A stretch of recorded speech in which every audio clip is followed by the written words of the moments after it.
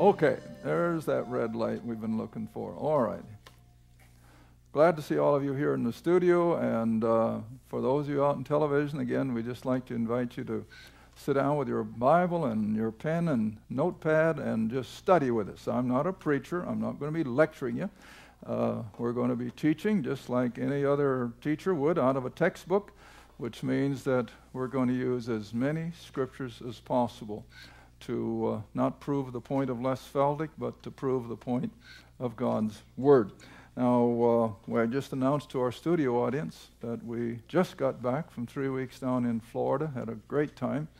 And uh, the very first church where we started, down at Fort Myer, the pastor had asked before I even left Oklahoma if, he says, I never tell a visiting speaker what to speak on, but he said, if you feel so led, he said, I would really appreciate if you would address why we stand on a pre tribulation rapture because he said, I'm under understanding that we're under attack for that like never before. And of course, I'm hearing it from every quarter that uh, people are almost getting aggressively hateful about our stand on a pre trib rapture. And so I agreed wholeheartedly.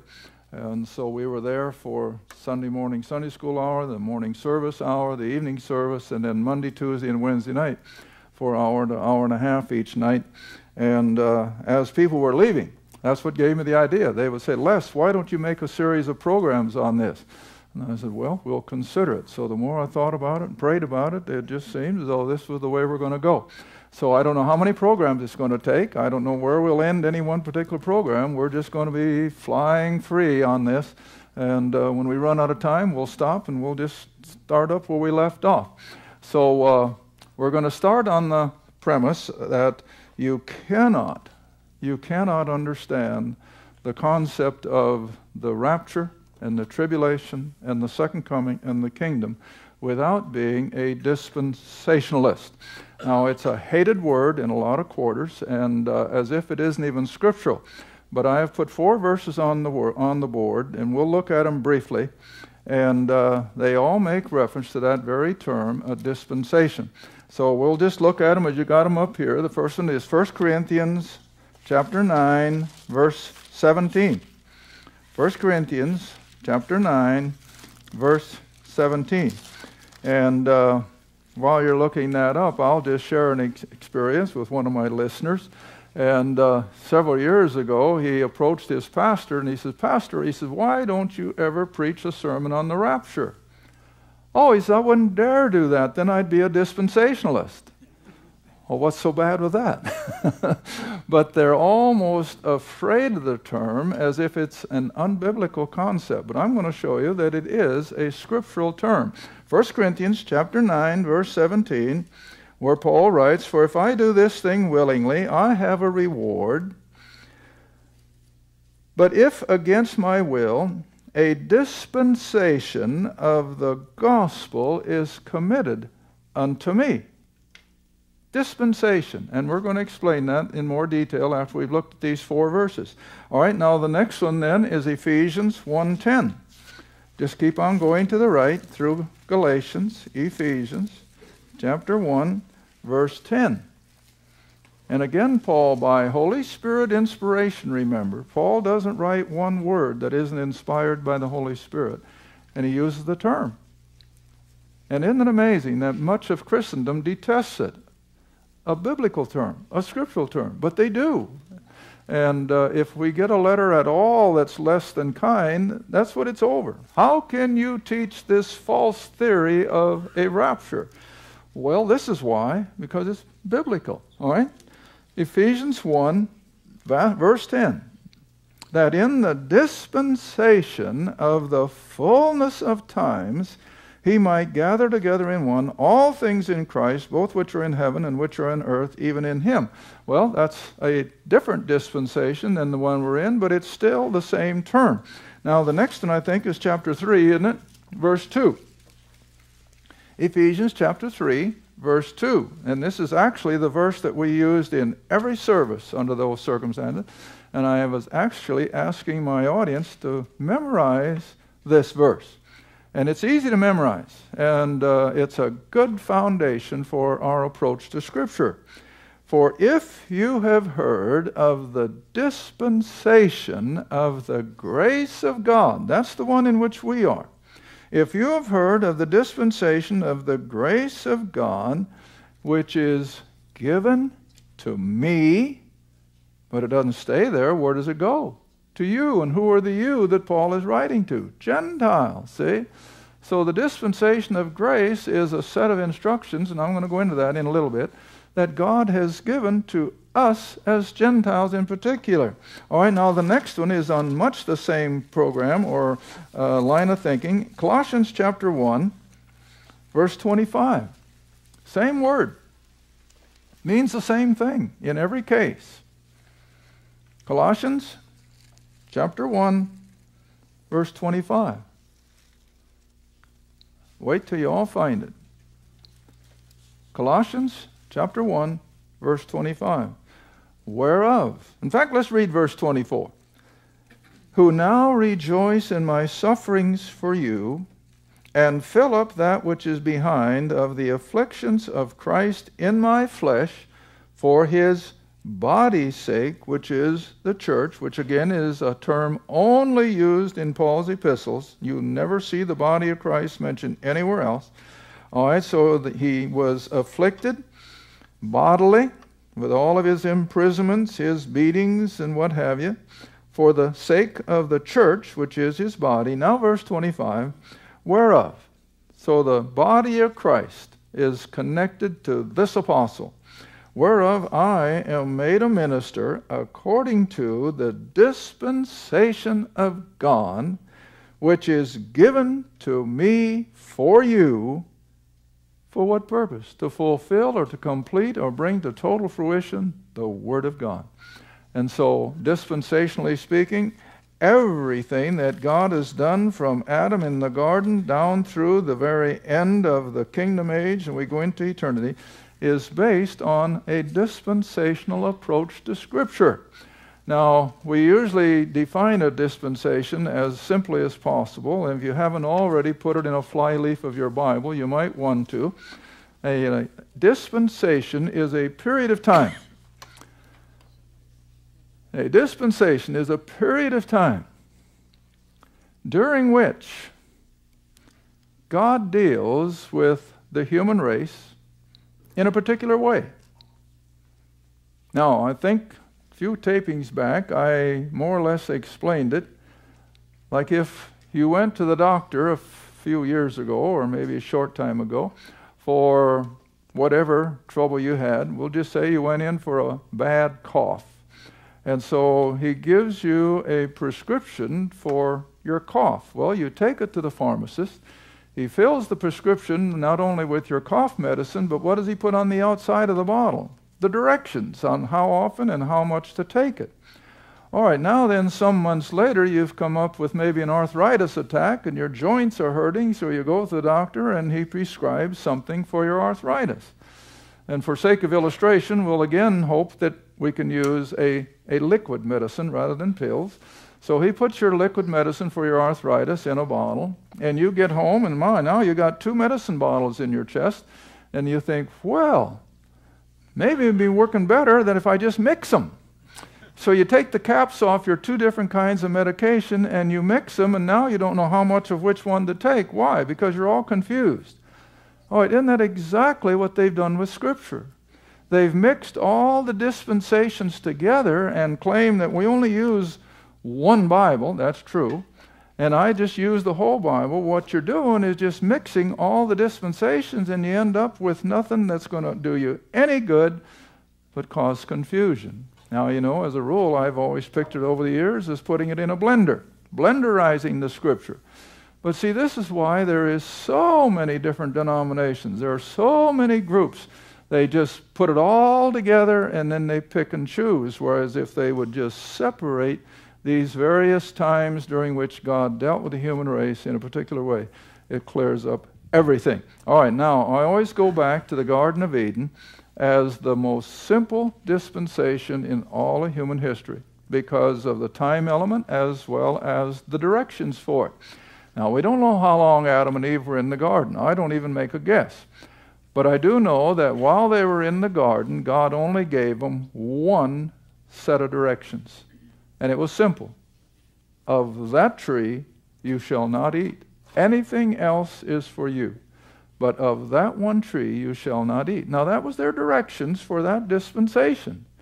Simple, wasn't it? That's all they had to do. Just leave that tree alone, and God would be satisfied and he, and he would bless them. But after a period of time, like I said, I don't know how long, they ate. Well, then the wrath of God fell because they were disobedient, and judgment came in, and they were cast out of the garden. Well, that ended that period of time during which they lived day by day under that one direction you shall not eat of it. Well, you come on up through history then, and uh, we have a couple other periods of time where God's put out some distinct instructions, and I haven't got time to go into them, but I'm going to jump all the way up to the time that Israel now comes out of Egypt, and they go under the dispensation of what we call law. As they are gathered around Mount Sinai, Moses goes up into the mount. And God gives to Moses the set of directions for the nation of Israel under the law, which included, of course, the Ten Commandments. But that wasn't all. They were also given instructions on how to deal with sin, how to approach God through the priesthood with sacrifices, and that was all part of their directions. And as long as they maintained a semblance of obedience to that, God's wrath didn't really fall. But after 1500 years, now then, the whole reason the law was given their Messiah appeared in fruition of all the promises of God. Now that brings me to the other verse I was going to have the studio audience look at first, and that brings you back to Romans 15, verse 8. After 1500 years of just more or less practicing the religion of law or Judaism, now God comes in with a little extra responsibility for Israel and that was to recognize that Jesus of Nazareth was the promised Messiah. All right, now I use that word promised specifically for this reason Romans 15, verse 8.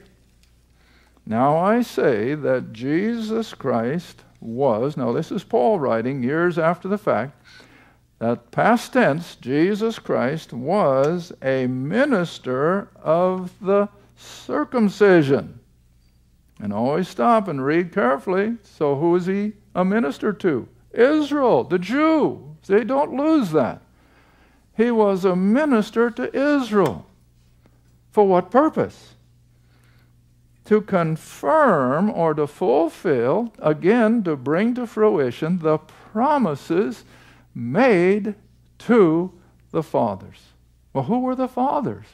Old Testament Israel, Abraham, Isaac, Jacob, and then on up to David and Solomon and the prophets, Isaiah.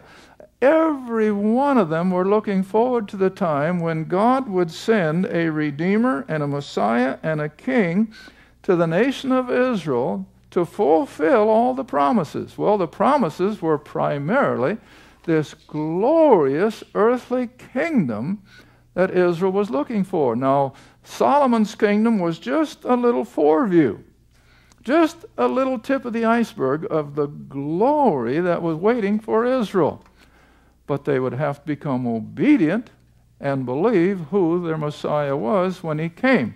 Now, that brings me up to current events. When Christ came, should Israel have known who he was? Absolutely. The Old Testament was full of it. But did they? For the most part, no.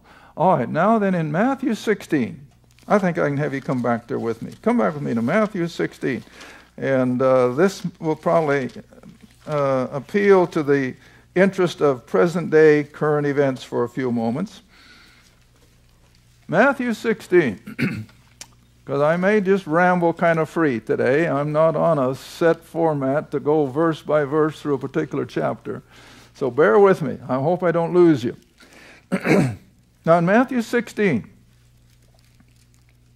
now just to refresh your memory, so in 15 seconds you haven't lost where I've come from.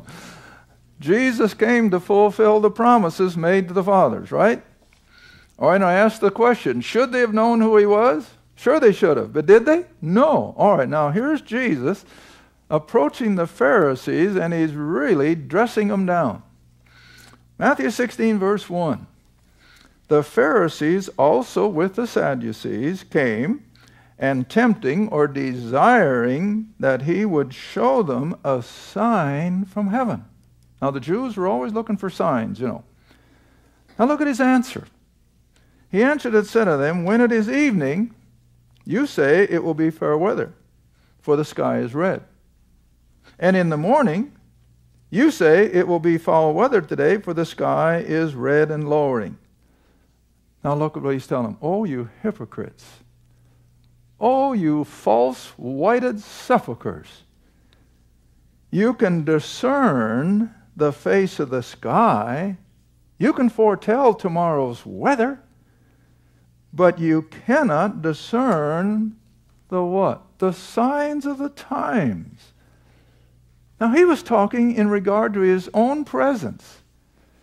They should have been under, understanding that they were now in the fourth of Daniel's empires, which was the Babylonian, the Median, the Persian, and the Greek, and now the Roman. They were in it. The Romans were over Jerusalem. That was the number one sign. That should have told them that this is the time that we can look for the Messiah. But did they? They didn't have a clue. Or various other aspects of his, of his appearance. They should have been able to foretell who he was and what he was doing on the basis of the scriptures. But they couldn't. Now it's the same way today. We are living under the exact kind of circumstances. The signs of the times, beloved, and you out in television, they're everywhere. A few people are waking up and realizing it. In fact, I just had a young man just the other day call, and he was so excited that his pastor, who had been a mainline pastor for years, never touched prophecy because they won't, and I'll explain why a little later this afternoon. He suddenly realized now that with the signs of the time, maybe he better get into prophecy. And so he's starting to change his mind by it. All right, so I'm always asking wherever I go, if I approach this subject, the signs of the times, what is the number one sign that we are in the end time and Christ's coming is not that far off? Israel back in the land. That should just scream at everybody, whether they know anything of Scripture or not, how miraculously the Jews have come back from every nation under heaven and they're in their own land against all odds. They should have never succeeded. But they did. But they didn't do it. God did it.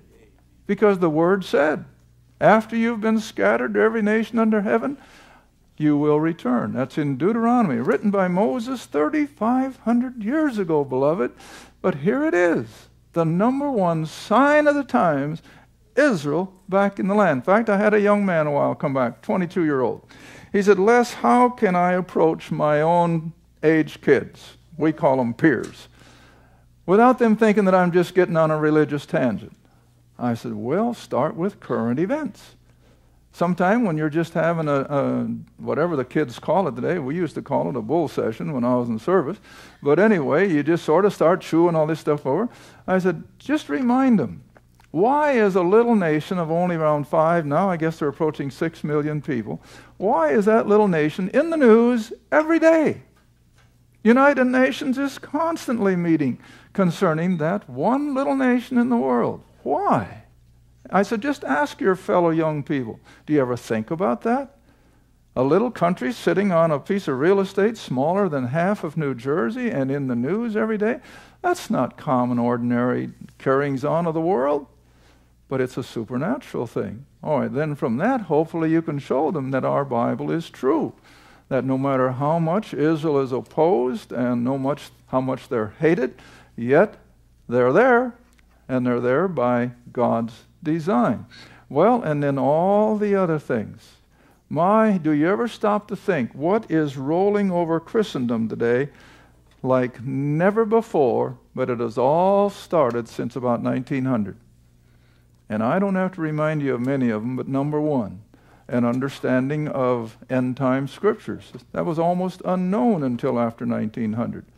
The other thing is the, the coming in like a tsunami of the New Age religions. My, they're appealing to our young people and they're falling for it by the millions. New age.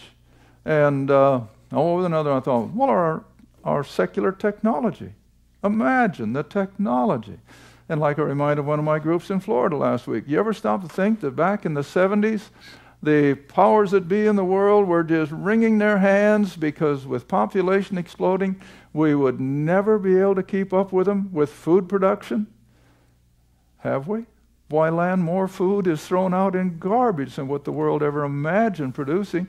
And there's no reason for anybody to go hungry. The only reason there's people starving is not production, it's distribution. There it sits in warehouses. I read the other day that all the aid that poured into Indonesia over the tsunami, most of it is still sitting in warehouses. They don't know how to distribute. But nevertheless, see, God has provided that no matter how far humanity comes, everything comes along with it. And that's God's design. Otherwise, we would never have gotten this far. See, that's why I'm not all shook up about this so called global warming. God's in control, He's not going to let it destroy itself. Not until He's ready to do it Himself. So always remember, they get all shook up about these things, but they leave God out of the picture. Well, on and on we could go. Oil. Can you imagine how production and distribution keeps up with all these billions of automobiles and planes and everything, and yet the world keeps going. Well, that's not an accident. That's our God who is in control of everything. Well, anyway, when Jesus said then, Know the signs of the times, it was just as much a warning for us today as it was for the despicable Pharisees of his day. And so I could even go a little further yet, but I think that's sufficient that we are to understand we are at the close of the age and the signs of the times are all around us. All you have to do is watch your daily news, the breakdown of morality, the uh, apostasy of the church. My goodness, you can't believe what people are hearing coming over their pulpits, and we hear it in our phone calls.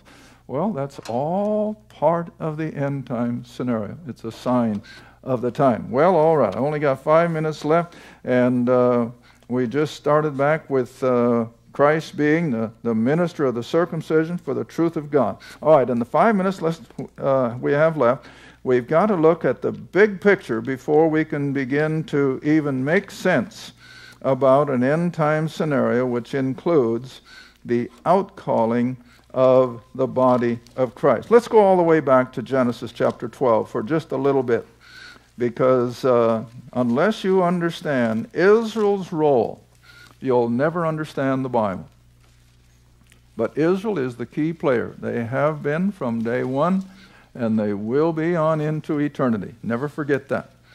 Now, the first 11 chapters of Genesis were God dealing with one race of people, and it was a sorry scenario. There's hardly a good point in the first 11 chapters because after Adam and Eve are created, the first thing they do is rebel. They're disobedient, they're cast out of the garden. Well, then the kids come along and one kills the other. It's just, just one awful thing after another. Well, then it just kept getting worse and worse and worse until finally destroyed them in the flood.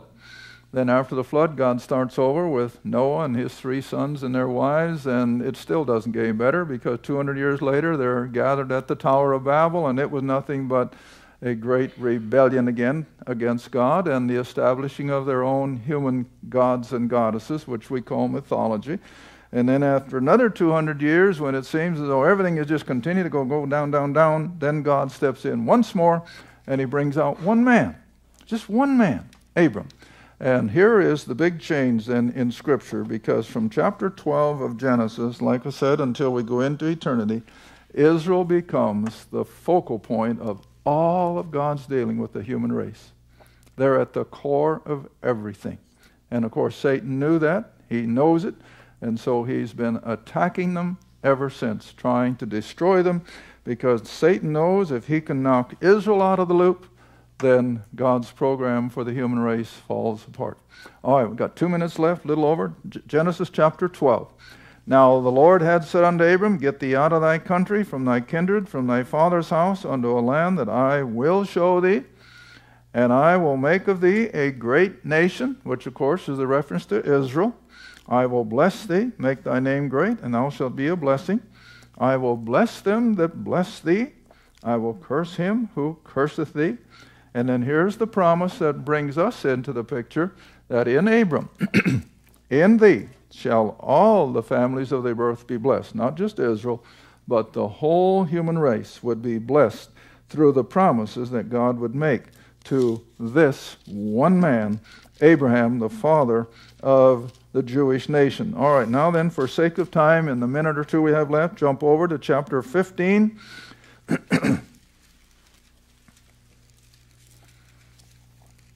Verse 7. And this, in the first place, shows the humanity of this man, Abram. He was just as human as we are, and God has just promised him all these things. And so, verse 7, he said, I am the Lord that brought thee out of Ur the Chaldees to give thee this land. Now remember, they're already standing on the mountains of Israel or in the land of Canaan. And God says, I will give you this land to inherit it. And he said, Lord God, whereby shall I know that I shall inherit? How do I know you're going to do it? How can I know that you mean business? Well, God says, I'll deed it to you. So you come on over to the end of the chapter now after going through the process of transferring title deed as the ancients did it under the laws of Hammurabi. Now then, verse 18. In the same day that God deeded the whole Middle East, from the Nile River to the Euphrates and back, in the same day the Lord made a covenant with Abram, saying, Unto thy seed I have given this land. That's a word of God, it's his promise. I have given you this land from the river of Egypt. That's probably the Nile, but if not, it's right close to it. The river Euphrates. And then all the tribes that were involved in that Middle Eastern area, God says, I will give it to you and your children after you. And we know, of course, that that's exactly what all the Old Testament promises rest on. That this whole Middle East was deeded to the man Abram and that it was to be the homeland of the Jew for all the period of time that this planet will function. And that has never been rescinded. And we'll look at some of the opposition to that as we go on through the afternoon. Thank you for watching Through the Bible with Les Feldick.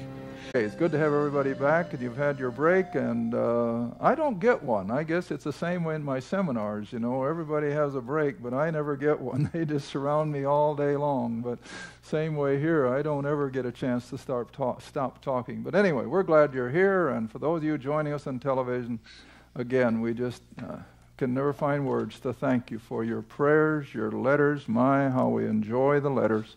And uh, then, of course, your financial gifts. We can't stay on the air without them. But uh, a lot of people can't understand how we do it without begging for money. I said it from day one. Gary remembers it as well as Day. I said, if I have to beg for money, I'm going home. And uh, that's the way we've always been. I will not. And uh, if we have to get that place, why, then we'll just start dropping stations and if the Lord wants us off the air, then we'll quit. But uh, until then, we expect the greatest fundraiser in the whole fundraiser in the whole universe will take care of our every need, and He does. It's just unbelievable.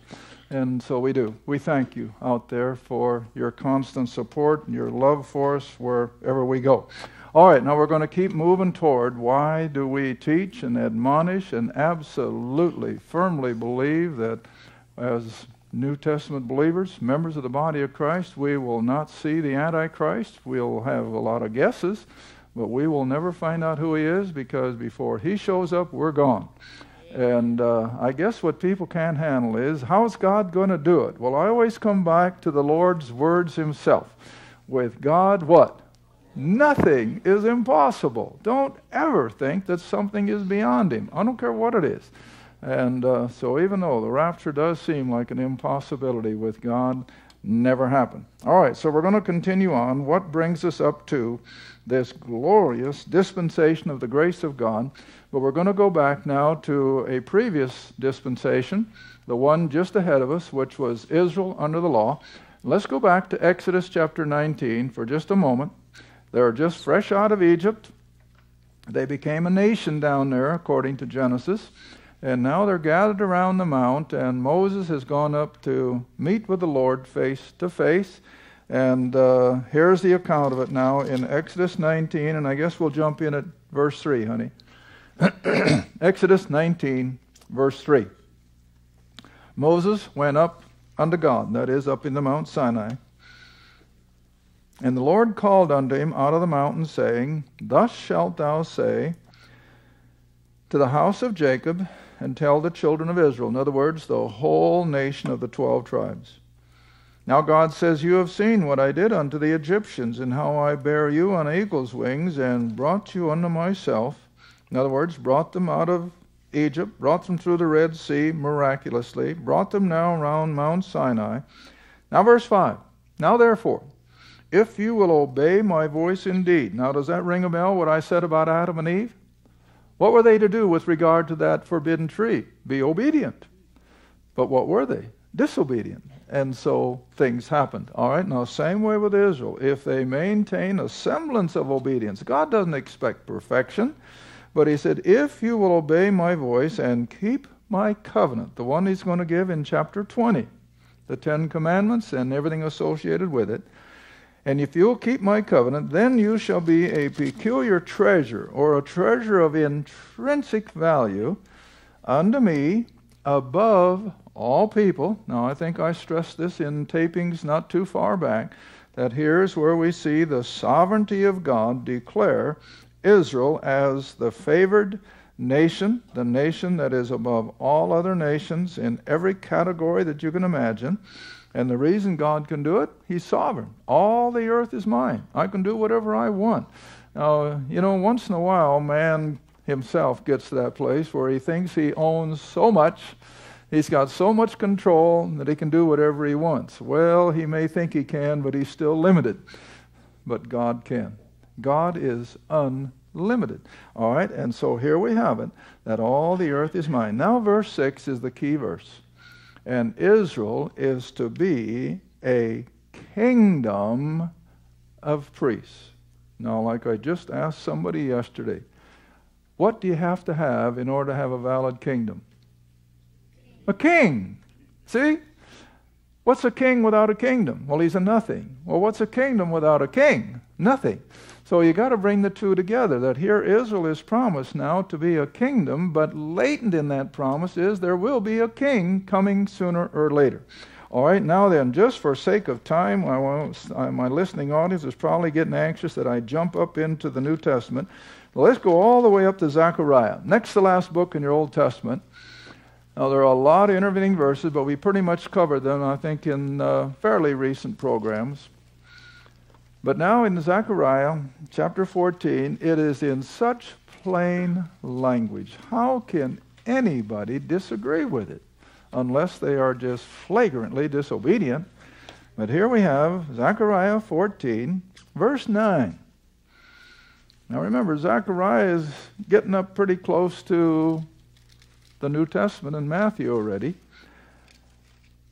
Math, uh, Zechariah 14, verse 9 and the Lord. Now remember, that's all capitalized, so that's Jehovah, or it's God the Son, Israel's Messiah. The Lord shall be, at some future day, king over all the earth. Now, can you get it any plainer than that? I don't know how you can. He hasn't yet, but he's going to. He's going to be the King of kings and Lord of lords over planet Earth and it'll be a totally renovated surface of the earth. Though it's still going to be going in its orbit around the sun, it's still going to be functioning as a planet, but the surface is going to be totally renovated. Now, all you have to do is just use a little 12 year old imagination with all the hundreds and hundreds of nuclear weapons that are in storehouses around the planet once they start exploding them, how long will it take to incinerate the planet? Not long. And that's what's going to happen. They're all going to be exploded one way or another in God's own time. And this old planet is literally going to be reduced to ashes, and God will plow them all under, and out will come that glorious thousand year millennial reign of Christ on a renovated, regenerated, reconstituted earth. And uh, I can see it with no problem at all. My goodness, when you realize how nuclear energy can just reduce steel to absolute nothing, and we've got all these hundreds upon thousands of nukes, and now I read in yesterday's paper that we are going to start building a new generation of them that are even better yet. Well, it's just all adding to the stockpile, and God is smiling in His heaven, and He says, Have at it, boys, you're getting it all ready for me and uh, they're going to destroy themselves. So that's what's coming, whether they like to admit it or not. But out of it. Now remember, the book of Daniel gives us 75 days after the return of Christ and the end of the tribulation until things begin to flow into everyday activity. And I think it's that 75 days that the earth will come back up and be like a renewed Garden of Eden. All right, so read the verse once more. Zechariah 14:9. The Lord shall be king over all the earth, and in that day, that is, starting with his second coming to the Mount of Olives, and in that day there shall be one Lord, and his name one, which of course fits perfectly with Revelation 19, and his name shall be called King of Kings and Lord of Lords. All right, now then, as you come into Matthew, we see that Christ makes his appearance at his first coming. But before he appears, we have John the Baptist, the herald. And he's going to announce to the nation of Israel that their king is in their midst. So jump up to Matthew chapter 3. And uh, Israel has now been under the law, temple worship, Judaism as we understand it, for 1,500 years. And now the Messiah makes his appearance according to prophecy. Matthew 3, verse 1. in those days came John the Baptist. Now remember, what goes ahead of it in chapter 1 is the birth of Christ down at Bethlehem. And so in those days came John the Baptist preaching in the wilderness of Judea and saying, Repent. That's what it says. Repent, for the kingdom of heaven is at hand. Well, now there's that word kingdom again. What's it talking about? The earthly kingdom that Zechariah was just talking about a few pages back, and over which the, the Son of God, Israel's Messiah, will rule and reign. It's finally ready to come about. All right, now Israel here is at a crossroads. Are they going to believe it? Are they going to accept it? Or are they going to reject it? and I'm always making a parallel with Kadesh Barnea. You remember when they came to Kadesh? What did God tell him? The promised land. There it is. It's all yours, with all of its production and all of its farms and orchards and pastures and land flowing with milk and honey. And I always have to qualify what does it mean, flowing milk and honey? Everything that it would take to produce humongous amounts of dairy milk which would be what? Fresh water and grass and all the other things that takes to produce milk. All right, what does it take to produce honey? Flowers and blooms and all the things that bees can use. Well, you put all that together, what kind of a landscape does it give you? Beautiful, productive, see? And so that's what they're looking at. But did they take it? No. In unbelief, they said thanks, but no thanks. And they went back into the desert and died like flies. What a pity. But see, they're confronted again. The king is in your midst. Can you believe it? No, can't believe it. And so they turned it down again. And so this is the whole concept then of his earthly ministry was to prove to the nation of Israel who he was. You've heard me sound that off now for 15 years. This is why he performed the miracles to prove that he was the promised Messiah. But Israel wouldn't buy it. And they rejected and rejected and rejected. All right, now then, let's just move all the way up into the book of Acts. And uh, I guess I almost have to start or stop at Acts chapter 1 and uh, look at verse 6 for just a moment. Acts chapter 1, verse 6. The Lord has just been resurrected and spent 40 days in his resurrected body with the twelve, walking up and down the byways and the roadways of ancient Israel, from Galilee to Jerusalem. And he was again proving that he was alive. He was the Son of God with all of his power, and he was yet able to be the king promised to Israel. All right, so now after those 40 days are over, they're assembled up there on the Mount of Olives. Of course, they don't know that he's going to suddenly take off from their midst and go back to glory. But nevertheless, they're in conversation here on the Mount of Olives at the end of the 40 days. And um, verse 6 When they were therefore come together, Jesus and the eleven, now Judas is gone, Matthias hasn't yet come in. So when Jesus and the eleven were there on the Mount of Olives, they asked him, saying, Lord, wilt thou at this time restore again the kingdom to Israel? See, that's the key word. Lord, are you ready to bring in the kingdom? Well, he couldn't as long as Israel was in unbelief. Because the whole thing is tied to Israel's recognizing who he is. Otherwise, he can't bring it about. All right, so then, verse 7, he doesn't ridicule their, their question. It was a valid question. And look at his answer. It is not for you to know the times or the seasons. Today we say it's not for you to know the here and when. But here it is. It's not for you to know the time. See? The kingdom is coming, but the Lord wouldn't tell him when. All right, so he says, It's not for you to know the times or the seasons which the Father hath put in his own power. All right, now then, when you come to a little further along in the book of Acts, let's go to chapter 2. The Lord is ascended back to glory.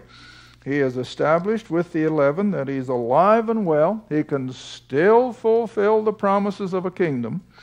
Now, in chapter 2, it was a Jewish feast day, the Feast of Pentecost, and Jews, of course, have gathered from every nation in the then known world to come to the temple for the Feast of Pentecost, as they did for all the feasts throughout the year. All right, so we have a conglomeration of Jews from every nation under heaven, and we have the miracle of Pentecost. All right, now then, let's just drop down to Verse 5 in Acts chapter 2 And there were dwelling at Jerusalem Jews, devout men. Now they were devout according to the law, remember. They're keeping the temple worship, the sacrifices, the whole nine yards. And they were out of, now watch this carefully, every nation under heaven. In other words, here they were, probably as far back as India and, and Persia, which is present day Iran, from what's present day Arabia, and over to present day Iraq, which was Babylon, and Syria, and Egypt, and North Africa. They had gathered from every part of the then known world for this Feast of Pentecost. But they're all Jews, see? All right, so they're coming from every nation under heaven. Now, verse 6 Now, when this was noised abroad, the multitude came together and were confounded because every man, whether he's from North Africa or he's from China or India or Timbuktu, every man heard, uh, let's see, that every man heard them speak in his own language. Now, do you have to be a seminary graduate to understand that? In other words, if they were from Syria, they heard it in the local language of the Syrians, because after all, Jews had been there now for generations, and the second, third, fourth generation start speaking the local language, and they had forgotten their, their Hebrew or whatever. Or if they came from Turkey, they were t- speaking the language of the Turks and so forth. Every Jew gathered there in that Pentecostal crowd were hearing the 12, or especially Peter, James, and John, I think, speak in their own language. See? And then they were all amazed and marveled, saying, Well, there are not these all Galileans? Now, of course, the point I always make when I teach these things are there any Gentiles involved? Not a one. There's not a Gentile in here. This is a Jewish phenomena. And never forget that. All right, now then, when you come down to verse 22, it's again obvious. Chapter 2, verse 22. Now Peter says, Ye men of Israel. That's Jews. Hear these words. And he goes through who Jesus was and what had happened and how God had raised him up and that he could still bring in the glorious kingdom that has been promised all the way up through the Old Testament. All right, so all through these early chapters, in fact, let's just stop at chapter 3. I'm just having to show you now how we are in the transitional part of Scripture. We're moving from Israel under the law and Judaism, and we're going to move to the place where the Apostle Paul comes and is sent to the Gentile world because of Israel's rejection of everything. All right? Acts chapter 3. Acts chapter 3. And Peter again is preaching to the nation of Israel. And uh, verse 12. And what precipitates this, they have just healed the lame man up there at the temple. And the Jews are all shook up. Where did these guys get the wherewithal to heal this guy who's been lame for 40 years? Well, I always have to remind my listeners how long has it been since Jesus' earthly ministry ended? About eight weeks. See, no, a little more than that. 50 days plus 10, about 60 days. Yeah, two months. That's all. Two months after his probably performing his last miracle, the 12 perform, and they can't figure it out. How did you do this? See? Well, then Peter, verse 12, when he saw the consternation, I guess is the word I've used before, when he saw the confusion amongst the Jews over these men healing this lame man, verse 12, when Peter saw it, he answered the people, Ye men of Israel. How many Gentiles are in that statement? Well, not a one. Ye men of Israel. Why marvel at this, or why look so earnestly us, as though we by our own power holiness made this man to walk? The God of Abraham. Did that mean anything to the average down on the road Gentile? Why, no, nothing. But to a Jew, everything. See? The God of Abraham and Isaac and Jacob, the God of our fathers, have glorified his Son Jesus, whom you delivered up denied in the presence of Pilate when he was determined to let him go. You denied the Holy One and desired a murder to be granted unto you. You killed the Prince of Life, whom God hath raised from the dead, whereof we are witnesses. Now, watch this carefully. Now, I'm reading it rather speedily for sake of time, but when you get home or when you're in your own Bible study, read these verses just slowly and deliberately and note that never does Peter associate the salvation of these Jews on that finished work of the cross. All Peter is showing here is the one that they demand to be put to death is alive and still can fulfill the promises. You can't have a dead man ruling as a king. Can you? Well, of course not. But he's not dead. The tomb is empty. He's alive. And Peter is proving that. He can still be the king. Now, what did Israel have to do? Well, nothing has changed so far as the nation is concerned. Drop down to verse 19. And they try to push all this into our Pauline economy. And that's why there's so much confusion, see? What's the first word? Repent. How did John the Baptist start? Repent. See? Nothing has changed. Nothing. Repent therefore, and be converted or have a change of mind concerning whom? Jesus of Nazareth. That's the problem. That's what they're to repent of now, that they killed and rejected the promised Messiah. All right, so they're to repent, therefore, be converted, that your sins may be blotted out, and the times of refreshing shall come from the presence of the Lord. What's the times of refreshing? The King and his kingdom, heaven on earth. My, wouldn't it be something to look forward to that maybe next week all of a sudden all of our sin problem would disappear, all of the heartache of this world would stop, and all of a sudden we'd have heaven on earth. Refreshing is almost a calm word, isn't it? But that's what he says. They could have it all if they would just confess and repent of the sin primarily now of having rejected their Messiah. Now, if you think I'm kidding you, look at verse 20. What would God do if Israel would repent? God would send Jesus, see? He would send Jesus Christ, the same one of the earthly ministry who was preached unto you, to be the king. But the Holy Spirit, I think, prompts Peter to not get too exuberant because there is a period of time that has to be fulfilled from the Old Testament prophecies before the king can come under any circumstances. And what time is that? Tribulation. The seven years of horror have to come. You can't skip them. And so this is what the next verse says, verse 21.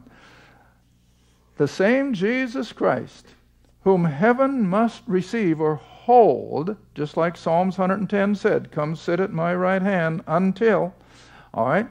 So heaven must hold him until the times of restitution of all things which the prophets have spoken of since the world began.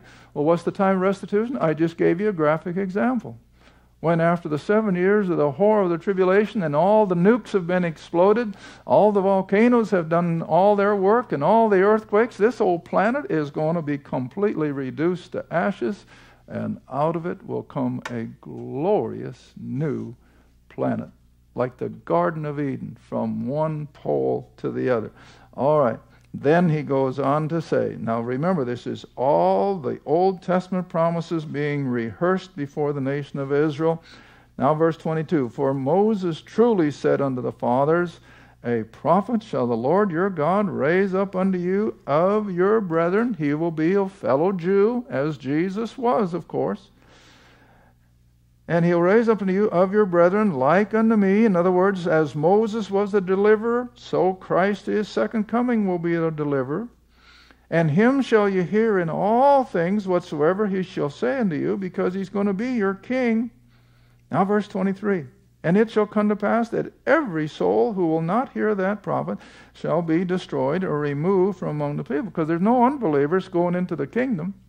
None and they'll be removed. And Jesus made that so plain in his earthly ministry that they will go to their perdition and the believers will go into the kingdom. All right, now read on. Our time is just about gone already.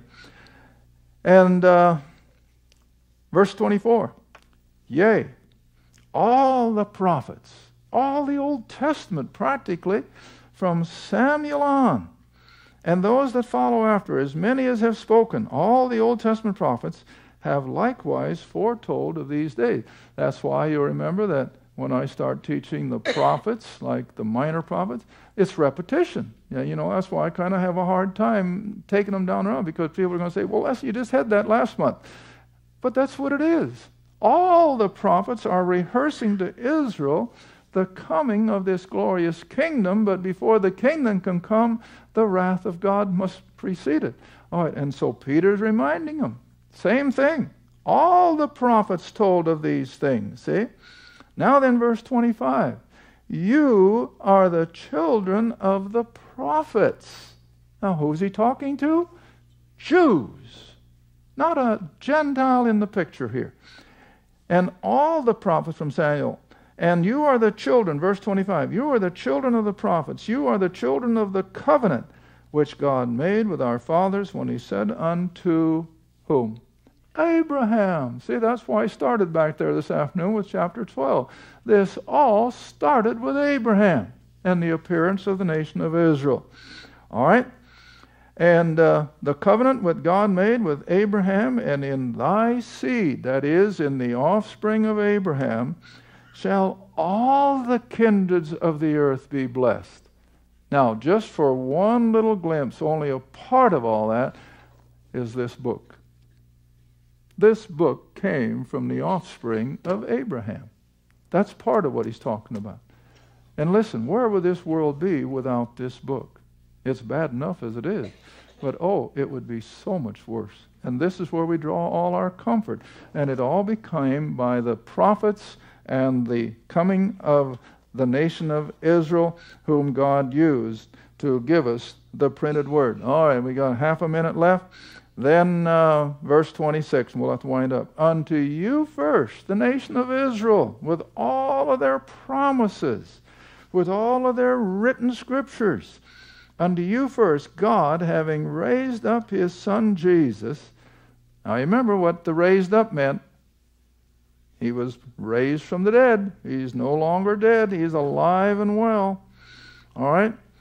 God, having raised up his son Jesus, sent him to bless you in turning away how many? Every one from their iniquity. But is Israel turn? No. And so then we're going to see in our next program where do we go from here. Thank you for watching Through the Bible with Les Feldick.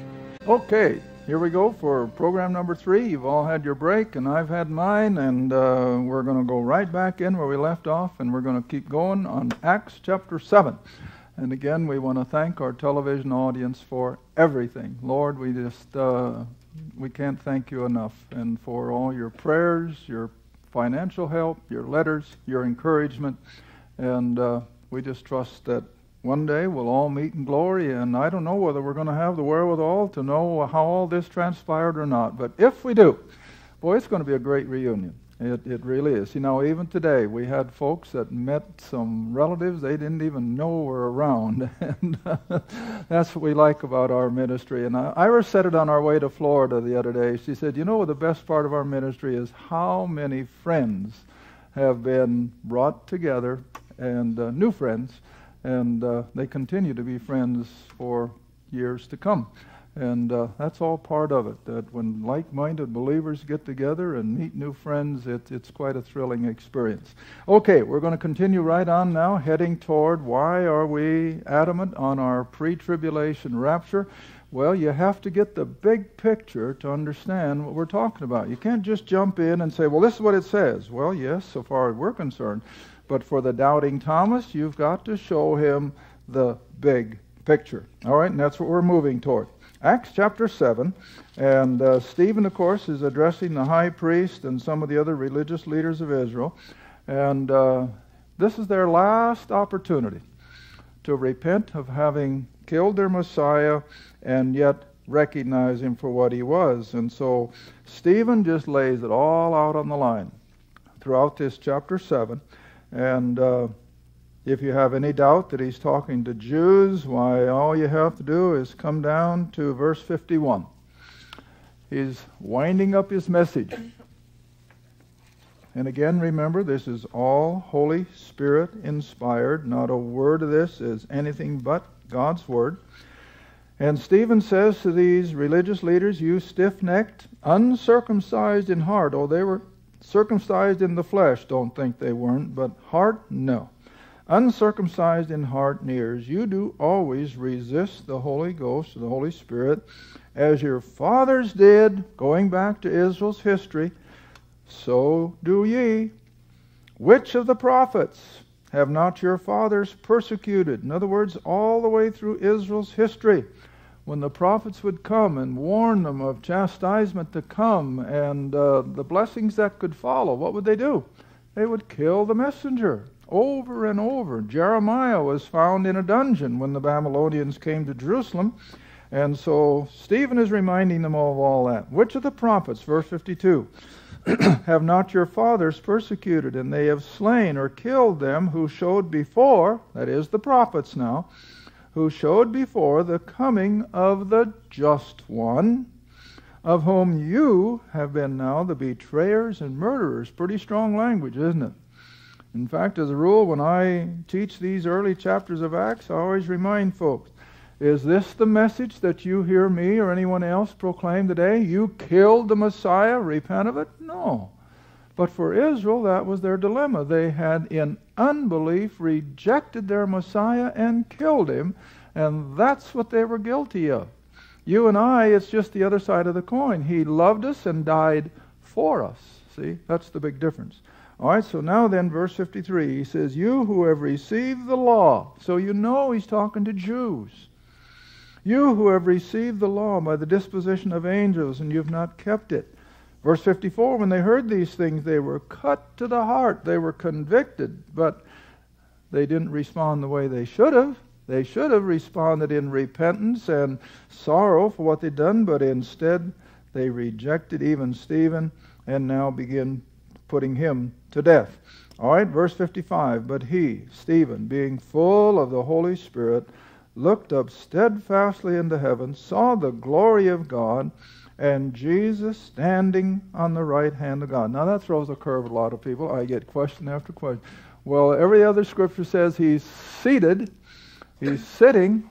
Why here is he standing? Well, I think I can take you back quickly to the book of Psalms. And uh, I'm not mistaken, it should be Psalm 60, 63. I hope it is. 68. I'm sorry. Psalm 68.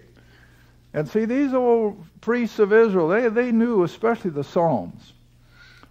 And as soon as Stephen said, I see him standing, they were reflecting on this portion, I'm quite sure. And it infuriated them, scared them maybe into their infuriation. But here it is Psalm 68, verse 1. Let God, what? Arise or stand. Let his enemies be scattered. And what were these priests of Israel? enemies. They hated him. All right, so let them also that hate him flee before him. As smoke is driven away, so drive them away. As wax melteth before the fire, so let the wicked perish at the presence of God. You think that sounded very pretty to these Jews? Not at all. And so their anger was just simply stirred all the more, and that caused them then to cry out. Now back to Acts 7. They cried out, verse 57, with a loud voice. They stopped their ears. They didn't want to hear another word like that. Ran upon him with one accord, cast him out of the city, and stoned him. And the witnesses laid down their clothes at a young man's feet whose name was Saul. Highlight that. That's the name of the next character on the stage of biblical history.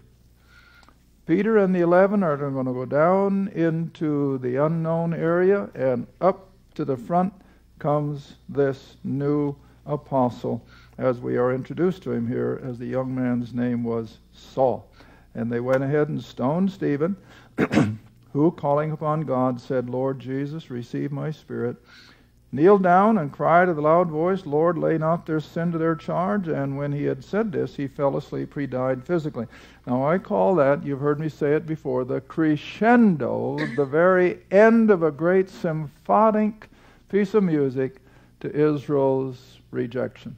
It was just the epiphany. We will not have Jesus of Nazareth as our Messiah and King.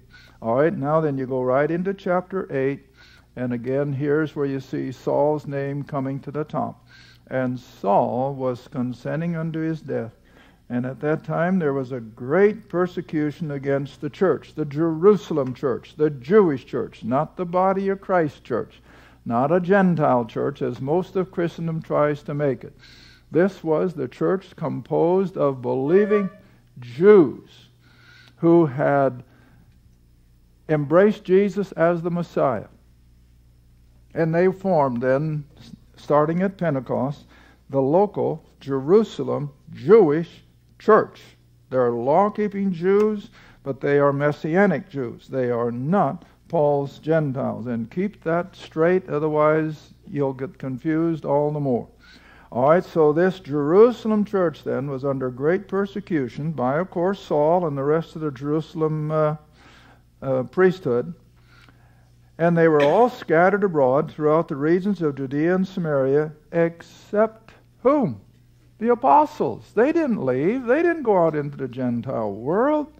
They stayed right there at Jerusalem. And in verse 3, as for Saul, he just continues his mad persecution against these believing Jews. And so he made havoc of this Jerusalem church entering into every house and hailing men and women, and committed them to prison. All right, now then, just to see how Paul had to live with that all the rest of his life. Keep your hand here, I'm going to come back, but go ahead with me to Acts chapter 26. And this, I think, just plagued the apostle all the days of his life, and that, of course, is one reason he was able to cope with all the hardships of his ministry. He could never forget the misery he had caused the followers of Jesus of Nazareth. Acts 26, and drop in, oh my goodness, verse 7. And Paul, now the apostle, he's already spent many years out there amongst the Gentiles, and he is before King Agrippa as he's on his way to the imprisonment in Rome. And he says to King Agrippa, Agrippa in uh, verse 7, just for sake of time, when you got time, read it all. But Acts 26, starting in verse 7, unto which promise our 12 tribes, see how he's speaking to the nation of Israel, instantly serving God day and night, hope to come, for which hope's sake, King Agrippa, I am accused of the Jews. In other words, still the hope of this coming king and his kingdom. Now, verse 8 Why should it be thought a thing incredible with you that God should raise the dead? Agrippa, you should know that there's enough knowledge of Scripture that resurrection is a part of our Jewish belief. All right? Why should it be thought incredible that God should raise the dead? I verily thought with myself that I ought to do many things contrary to the name of Jesus of Nazareth, which was what precipitated his hate and his persecution, which thing I also did in Jerusalem. Now, watch this. And many of the saints, that is, the Jewish believers, many of the saints did I shut up in prison, having received authority from the chief priests and when they, these Jewish believers who had been first imprisoned and then committed to death, and when they were put to death, I gave my voice or my vote against them. Verse 11 I punished them off in every synagogue where he would go in and arrest them if they were uh, gathered together in the worship of their Messiah, Jesus of Nazareth compelled them to blaspheme. Now, I feel that that's an indication of torture. I compelled them to blaspheme, and being exceedingly mad against them, I persecuted them even unto strange cities.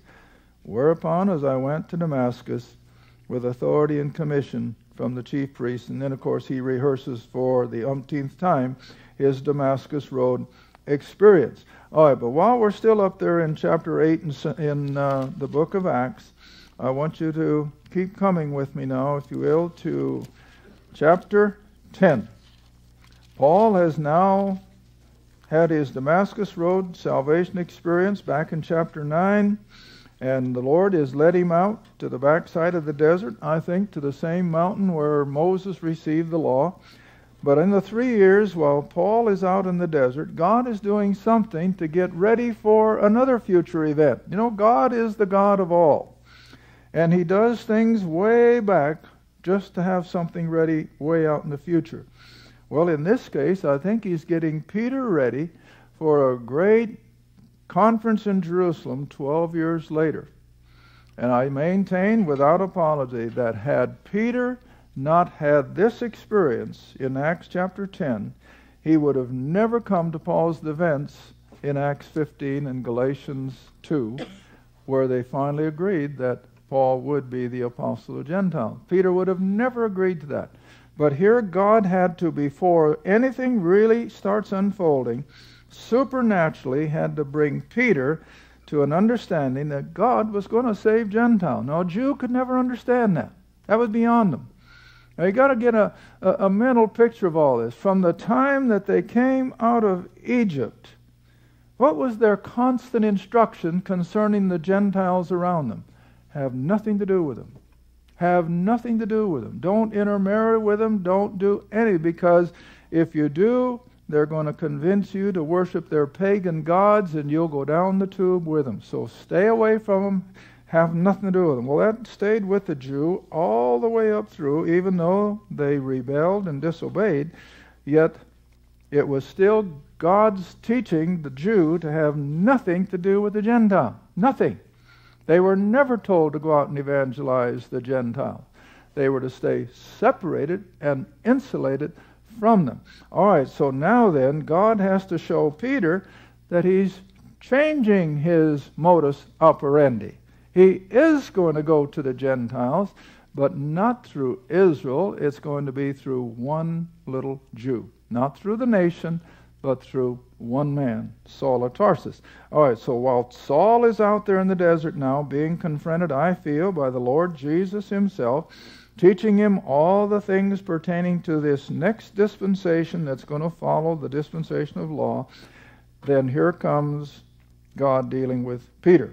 Acts chapter 10, and uh, again, for sake of time, we'll just drop down to, uh, oh, verse 7.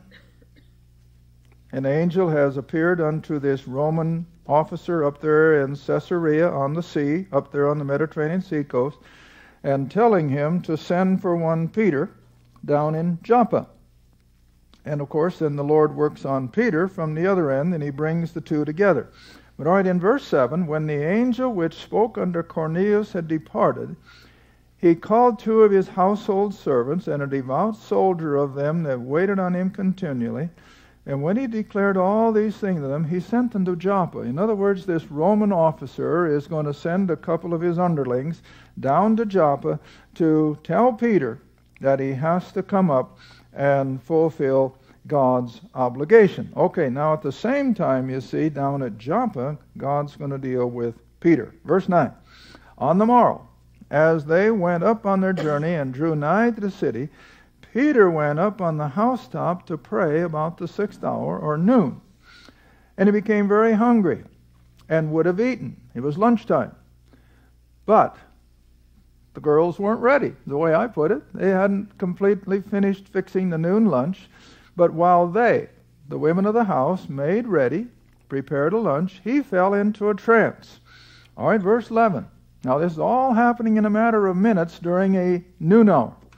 Verse 11 And he saw heaven open, and a certain vessel descending unto him, as it had been a great sheet, knit at the four corners, let down to the earth, wherein were all manner of four footed creatures of the earth, wild beasts, creeping things, fowls of the air, a great mix of all the unclean things that a Jew would never think of eating.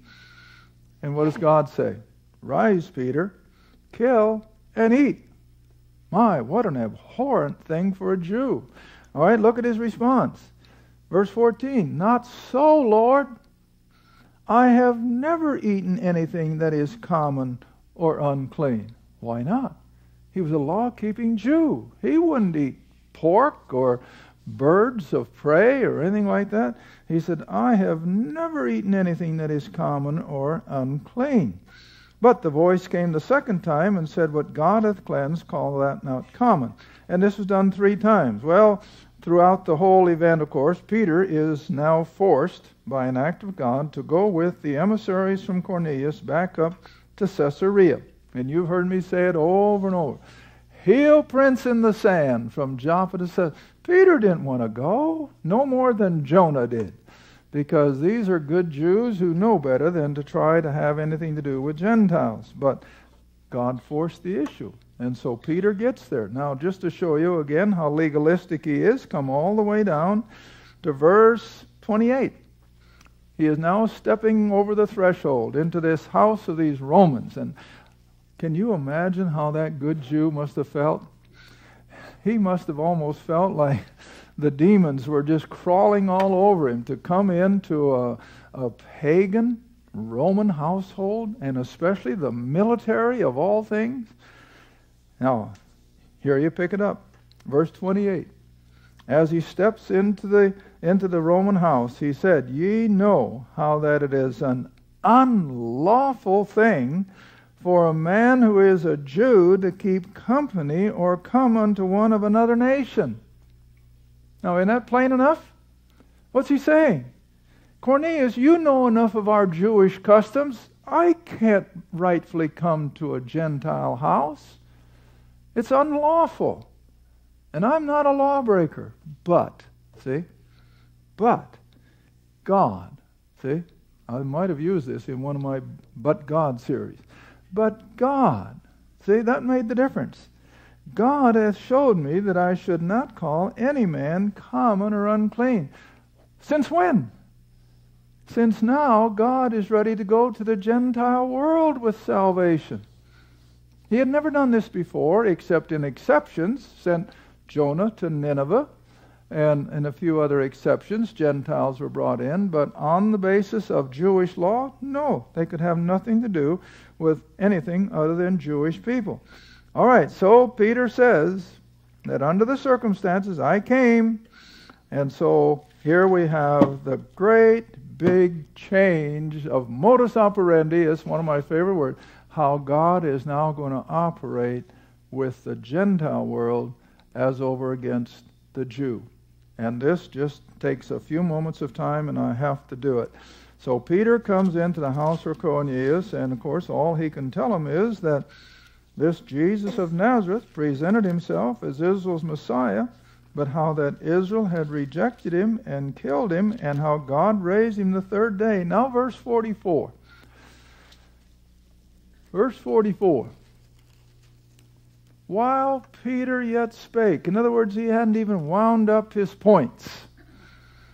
While Peter yet spake, the Holy Spirit fell on all them who heard the word. Now, we don't know how many there were a household, 10, 12, 14. Your guess is as good as mine. But they all suddenly became believers that Jesus was the Christ and that he'd been raised from the dead. See? All right? And so the Holy Spirit fell in response to their believing, but what have they not yet done according to the Jewish plan? Now I got to take you back to Acts chapter 2. Sorry about that. Go back to Acts chapter 2.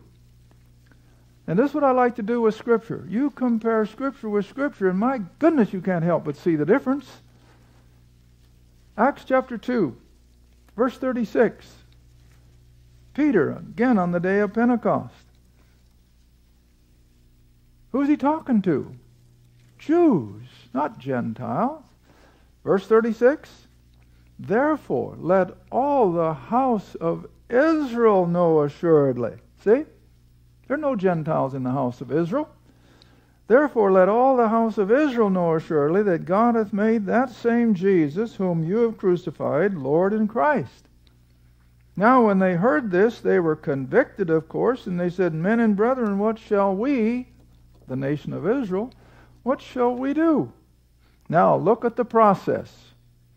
Repent. Be baptized. Be forgiven. And be filled with the Spirit. Mark them down on your notes. Repent. Be baptized. Be forgiven. And experience the Holy Spirit. That's the Jewish process. Now look what happens up in a house of Gentiles. And if you know anything about math, you invert and multiply. Isn't that one of the rules? Well, here we have it a complete inversion of the process. Now, instead of repenting and being baptized and being forgiven, it's the other way around. The Romans are suddenly believing and they're being forgiven. They haven't repented, they haven't been baptized. And Peter is just, he's bonkers. He, hey, this isn't the way it's supposed to work. It's all backwards. Well, why? Because we're dealing with Gentiles.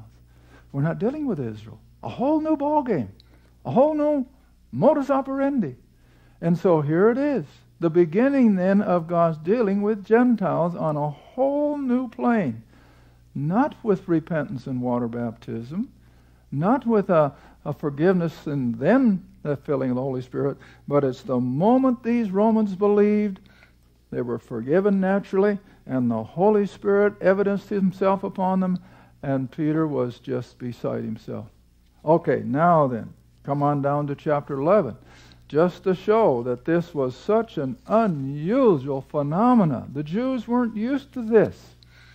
The Jerusalem church had never heard such a thing. Gentiles coming into a knowledge of our God, complete unbelief of that. So you uh, come into chapter 11, verse 1.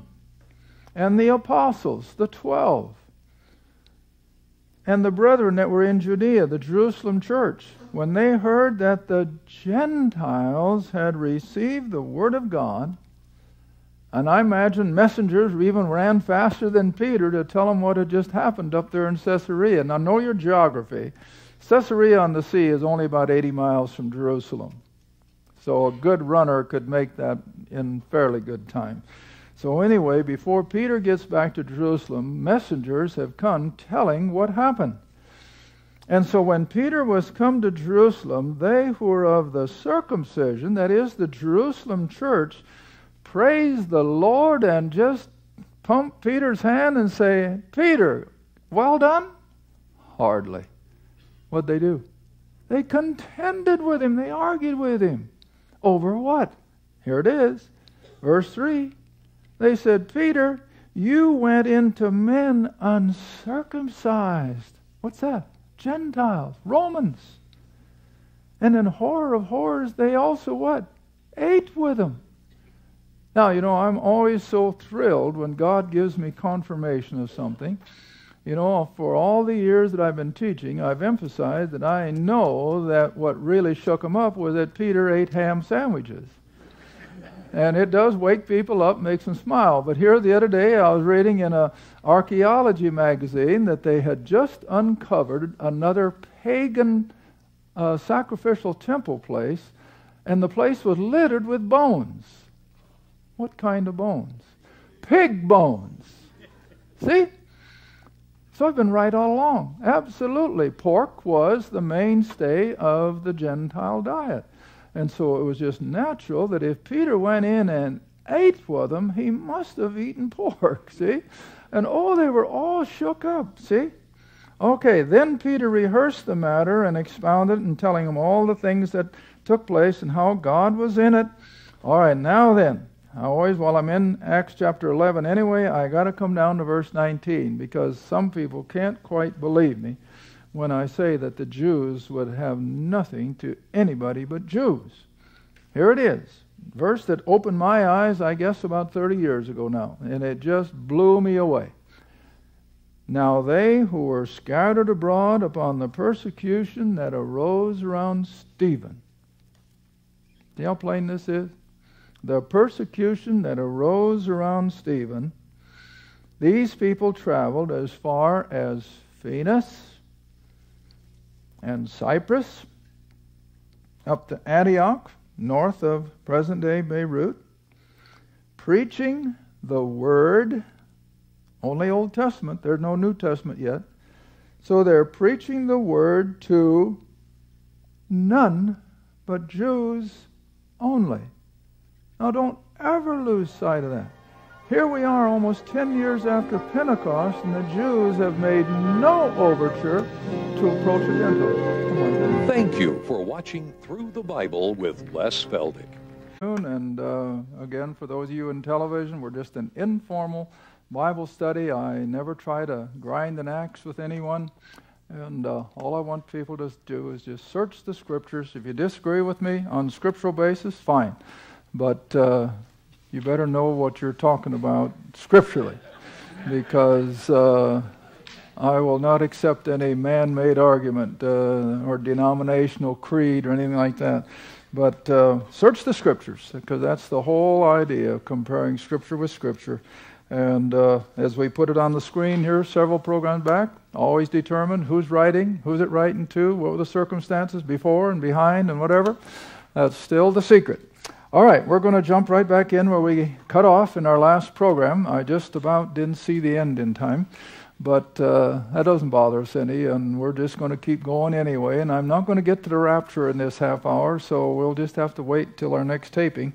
But all right, here in chapter 11, the verse where we were when we ran out of time was verse 19 again, remember that these Jews who had been scattered out of the Jerusalem church went as far as Phoenix and Cyprus and Antioch, preaching the word, the Old Testament, to none but Jews only. Now, that's what the scripture says. That's not what Les Feldick thinks or anybody else thinks. That's what the book says, that they were not attempting to go to anybody but Jews. But now remember, Acts is a transitional book. We're coming out of Judaism and the dispensation of law, and we're going to be jumping over into the dispensation of grace and the Pauline epistles. So you're going to have some flux, is what I call it. You're going to have an overlapping of the Judaism with grace but as they go along, Judaism is going to fall through the cracks, and Peter and the eleven lose their authority with the church at Jerusalem because now it's moot. Israel is rejecting everything. And then Paul becomes the preeminent apostle until we get to the return of God dealing with Israel for the tribulation, and that, of course, is where we come in with our rapture uh, teaching that we can't be here for the tribulation because we are not part of God dealing with Israel. But we'll come to that in our next taping, more than likely. All right, so now then, in chapter 11, we have the visible unfolding of the transition from Jew to Gentile. And if I don't take these verses, somebody is going to call and say, Why did you skip them? Well, I'm not going to. So go right on into verse 20. Acts 11, verse 20. And some of them, some of these Jerusalem church emissaries who have been preaching the word to none but Jews only, some of them were men of Cyprus and Cyrene, which when they were come to Antioch, now this Antioch is up north of present day Lebanon in Syria. Ancient Antioch, of course, I think the ruins are still there at the head of the river.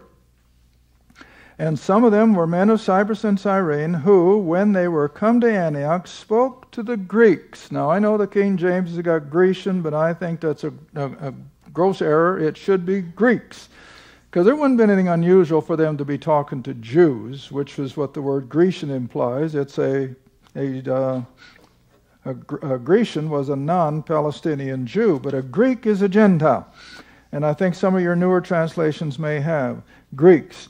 Now, to these Greeks, these same Jews start preaching the Lord Jesus. And now, again, just take a minute to contemplate why did the Jerusalem church react the way it did? Now, it hasn't completely been annihilated. The vast numbers, of course, have run for their life, but it's still under the control of the 12. Don't think for a minute it isn't. All right, and so the hand of the Lord was with them. Great numbers believed and turned to the Lord. That is, these Gentiles are taking an interest now in the things of Israel's God. Now, verse 22 tidings of these things, Gentiles getting interested. And when that came to the ears of the church which was in Jerusalem, see, that's why I'm always calling it the Jerusalem church. Now, when the tidings of this came to that Jerusalem church, again, did they, like I said after chapter 10, did they shout, Praise the Lord, hallelujah? Heavens, no. We got to go check this out. See? Look at it. So tidings of these things came to the ears of the churches in Jerusalem. They sent forth Barnabas that he should go far as Antioch. Well, now read between the lines. For what purpose? To see what in the world are these people doing? They're not adhering to our Jewishness, they're bringing in Gentile. But I think I mentioned in one of my Florida seminars, isn't it amazing that God always has his own man for the right time and the right place. Had anybody but Barnabas gone up to Antioch, they would have blown the whole thing apart. But see, Barnabas was a man, now read on. Verse 23 Who, speaking of Barnabas, when he came to the Antioch situation and had seen the what? The grace of God saving Gentiles he was glad and exhorted them all that with purpose of heart they would cleave or hang on to the Lord. For he, Barnabas, was a good man. He wasn't so bigoted like most Jews would have been naturally. He didn't just have that one mindset, he had the wherewithal to see God is doing something different. And I'm not going to stand in the way. I'm not going to report this to the Jerusalem church. They'll just scream and say, shut them down. They don't want anything to do with this. All right, so he was a good man, full of the Holy Ghost, and of faith. He was God's man, see? And much people were added to the Lord. Now, what did that prompt Barnabas to do? Go look for Saul. Now, just put all this together.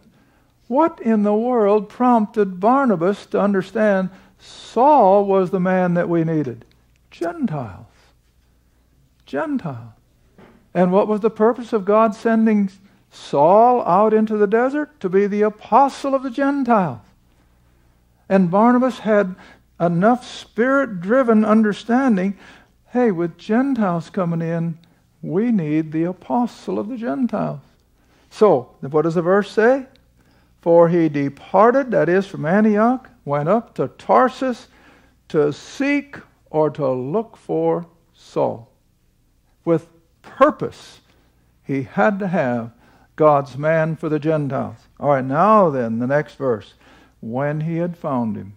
We don't know how Barnabas looked, how long, but when he had found him, he brought him to Antioch, and it came to pass that a whole year they assembled themselves with the church. Now, the word church is always a called out assembly, but in this case, it's a called out assembly of predominantly Gentiles. We're not a Jewish congregation, it's Gentile now. All right? And so, Paul, now the apostle of Gentiles, is the absolute answer to their need. And so, for a whole year, they assembled themselves, taught much people. And these followers, that's what the word disciples means. We're not talking about the 12 of uh, Matthew, Mark, and Luke. But these followers were called Christians first in Antioch. Now, you know what I have to do? Ask a question. See, that's how you learn. You know, the little kid that asks a lot of questions is usually going to be the first person in his class when he goes to school.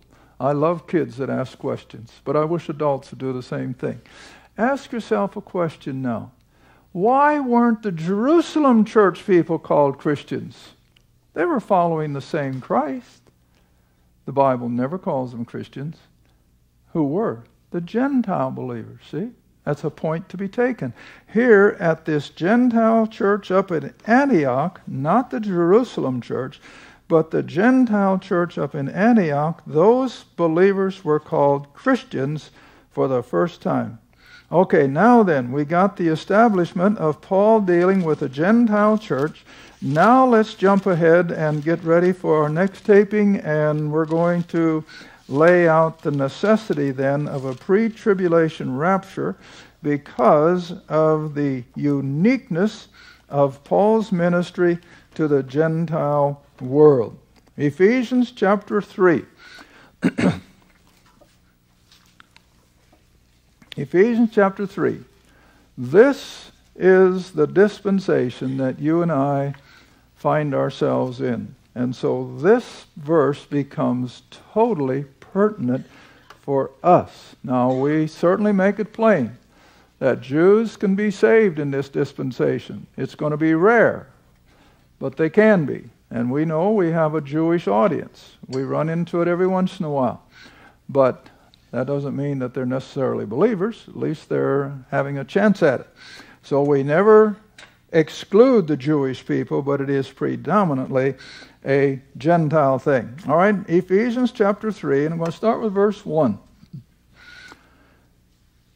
For this cause, in other words, what he's written now, especially in these first two chapters of Ephesians, for this cause, I, Paul, the prisoner of Jesus Christ, for you Gentiles. Well, now stop and think a minute. Where is Paul when he writes the letter to the Ephesians? Well, he's in prison in Rome. But what got him in prison? His preaching the gospel of grace to the Gentile. All the opposition of the Jews, as well as the opposition from the Romans, and so it got him between the vice, and he ends up in prison in Rome. And as the Spirit leads him to write, as a prisoner of Jesus Christ on behalf of you and I as Gentiles. All right, now verse 2. I had my Florida audience try to memorize this, and I don't know how many did, but I certainly tried every night. Memorize this verse. It's not hard. And it just says it all so far as we are concerned in our relationship with God. If you have heard of the dispensation of the grace of God, which is given to me, Paul says, not to us, not to the twelve, not to the prophets, but given to me, to not Israel, but who? You Gentile. See? How plain that is? And yet people can't see it. I've had people sit at my kitchen table and I now read it. Well, don't get what you're driving at. You don't read. I had quite a few people come up and tell me in these last seven, unless you're right. I always read, but I didn't read. Well, that's most people's trouble. They just read, you know, and they don't stop to think, ask a question here and there, and pick it apart. All right, look at it again. If you have heard of the dispensation, this time of specific directions that's been placed on the prescription, that's what a dispensation is, remember. It's explicit directions for this prescription for this period of time in which we live. So if you have heard of the dispensation of the grace of God which is given to me to you-ward. Well, who are the you-wards? Gentiles up in verse 1. See that? So this dispensation of grace is the set of directions that are given primarily for the Gentile world to come into a relationship with God, our hope for eternity. And it's the only way you can find it. Okay, the dispensation of the grace of God which is given to me to you. All right, now for emphasis, turn ahead a few pages to Colossians chapter 1. The other verse I've got up here on the board, chapter 1, verse 25.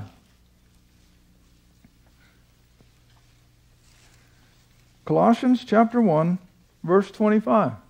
But let's read verse 24 first.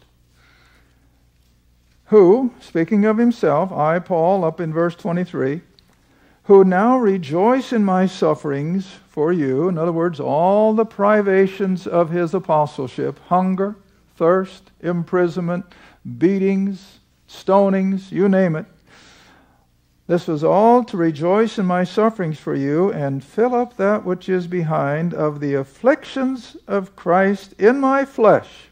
Physically, he suffered for 28 years for his body's sake, which of course he has clarified now in his previous epistles, the body of Christ, which is that composite of Gentile believers, I think, from Paul's own conversion on. All right? for his body's sake, which is the church. Now, here's the parallel for uh, Ephesians 3, verse 2. Whereof I am made a minister. Now, it's a personal pronoun. It isn't we, it isn't a group of people, it's the singular man, the Apostle Paul. Whereof I am made a minister according to the dispensation of God, which is given to me for you, Gentiles. And the final purpose, of course, is to fulfill or bring to completion the Word of God. Now, verse 26. This is a unique part of Paul's revelation of this dispensation, and that is what he calls the mysteries. Verse 26 Even the mystery, now he's just dealing with one here, even the mystery which has been hid. H I D, hid. And who hides it? God does. Oh, now I got to turn back, don't I? Keep your hand in Colossians, go all the way back to Deuteronomy. Most of you probably know it by memory. You should by now. I use it often enough. Deuteronomy 29 29. If you haven't memorized before, do it from now on. Because this is the secret to understanding the secrets. Deuteronomy 29 29. And this again just shows the sovereignty of our God. He's absolute. He can do whatever he wants. All got it? Deuteronomy 29 29. the secret things belong unto the Lord our God. Do you see that? God has the prerogative of keeping things secret.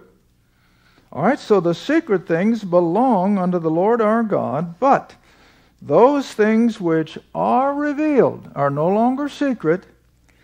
They belong unto us and to our children forever, that we may do all the words of this law. Now, that, of course, is Moses under the law, but nevertheless, the overall rendition of that is that God is secret and he can keep things secret as long as he likes.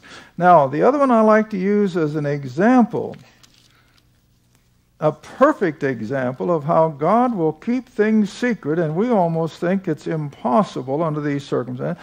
Look at Luke 18. During his earthly ministry, he's just now ready to go up to Jerusalem and Passover and the crucifixion. And I use these verses over and over when people try to tell me there's never been more than one gospel the gospel as we know it, that Christ died and was buried and rose from the dead. And they say that's always been the only gospel. Well, now, then how can you explain Luke 18, verses 31 through 33 and 34? All got it? Luke 18, we'll start at verse 31. And remember what I'm bringing here how God keeps things secret. He can do it. Verse 31 Then, we're at the end of his three years.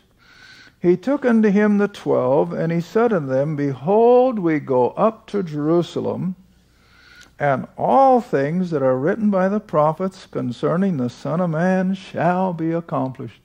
What's he talking about? Well, the coming crucifixion. Everything pertaining to it as prophesied is going to happen. Now, verse 32, he explains what they are. For he shall be delivered unto the Gentiles, the Romans. He shall be mocked and spitefully entreated and spitted on, and they shall scourge him or beat him and put him to death. And the third day he shall rise again. He knew what was coming. It wasn't any secret to him. Now, he shared this openly with the twelve. All right, but now look at the next verse, verse 34. And they, the twelve, understood none. They didn't have a clue what he was talking about. All right, and they understood none of these things. And this saying was, what's the next word? Hid. It was hid from them. Well, who hid it? God did. It wasn't time for them to know. And all I ask people to do when I teach this, can you just imagine what would have taken place between now and the crucifixion if these 12 men would have known what was coming? Why, they'd have had a riot, they would have had civil war, they would have done everything to keep this from happening. So God just kept it secret, even though He told them. And now I maintain here's another instance. Why do you suppose the Lord told the twelve something that he wouldn't let them understand? For our benefit. For our benefit. Now we know that he was totally God. He knew exactly what was going to happen moment by moment. But on the other hand, he's going to keep it from the twelve. He hid it from them. Now that's his prerogative, see? All right, and so he hid it from them, neither knew they the things which were spoken. Now, on your way back to where we were in Colossians, just stop, if you will, at uh, John's Gospel, chapter 20.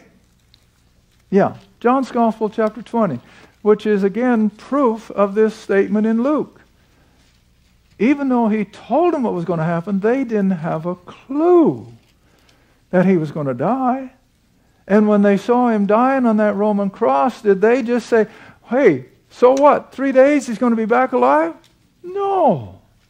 They didn't know he was going to rise from the dead. They thought it was all over. All right, now here's the proof of it in John's Gospel. Resurrection morning, you all know it. Mary comes to the tomb and it's empty, and she runs and tells Peter and John. Peter and John run now, verse 4, together. And the other out- disciple did outrun Peter. In other words, young John outran Peter, came first to the sepulchre. Stooping down, looking in, saw the linen clothes lying, yet he went not in. He was a little bit reluctant, you know. Little young John, I think, was timid. All right, then verse 6. Here comes big old Peter. Peter comes following him, went into the sepulchre, sees the linen clothes lie, and the napkin that was about his head, not lying with the linen clothes, but wrapped together in a place by itself. Then went in also the other disciple, John, who came first to the sepulchre. He saw the evidence and what? And believed. Believed what? That Christ had supernaturally risen from the death because the grave clothes were undisturbed.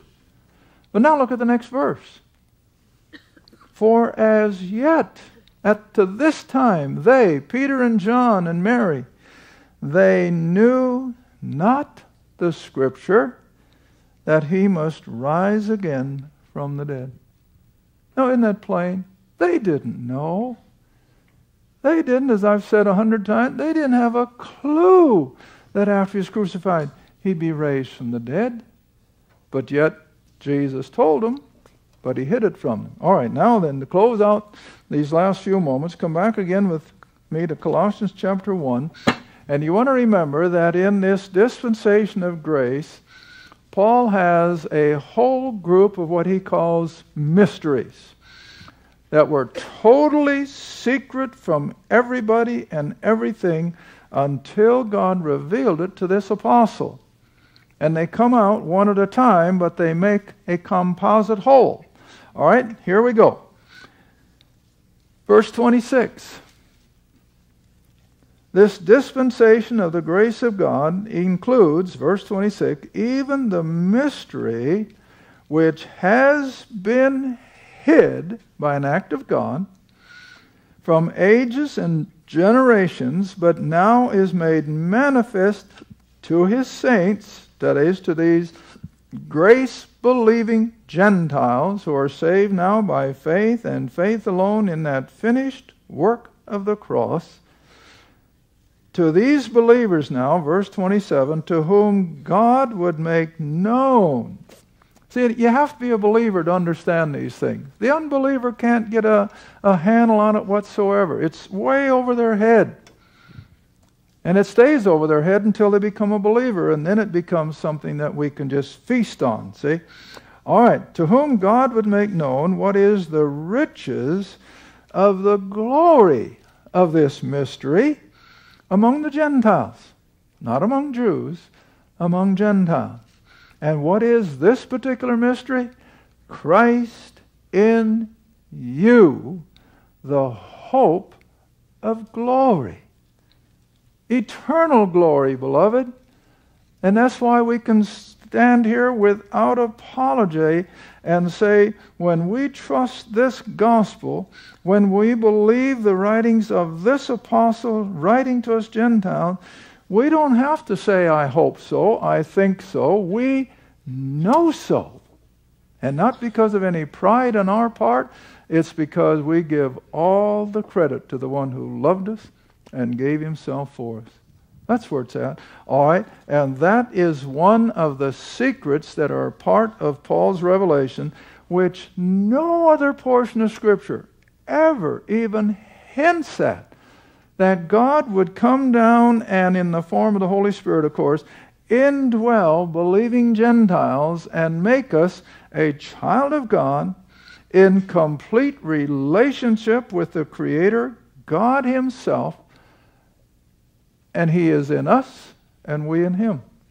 Now we take that by faith. Now I think I got time. Let's go back and see one verse that makes that so plain. 1 Corinthians chapter 12, verse 13. And this we'll probably have to close. But see, this is all unique to Paul's revelations of this dispensation of grace. You won't find it in the Gospels. You won't find it in the book of Revelation or in the Old Testament. It's uniquely the letters of Paul. All right, 1 Corinthians chapter 12, verse 13. This is how this relationship comes about that we are in Christ and Christ in us. 1 Corinthians 12, verse 13. For by one Spirit, capitalized, the Holy Spirit, we are all, not just a few, not just the elite, not just the best, but every believer from the bottom to the top of the totem pole, if you want to put it that way. For every believer is baptized or placed into one body. We're placed into the whole by a work of the Holy Spirit. And that's what we have to believe. We take it by faith. You don't feel it. You don't all of a sudden get up and say, oh, the sky is blue. But we take it by faith.